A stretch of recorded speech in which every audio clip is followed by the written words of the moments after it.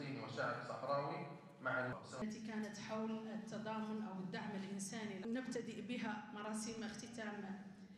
نعلن اليوم عن هذه التنسيقية العربية والتي تشمل الدول العربية لنكون يد بيد كتف بكتف وخطوة بخطوة من أجل النهوض بالشعب الصحراوي وتسليط الضوء على قرار تقرير المصير وحق الشعب الصحراوي في تقرير المصير ولا بد ولن نتوقف حتى نصل بالشعب الصحراوي إلى دولة الاستقلال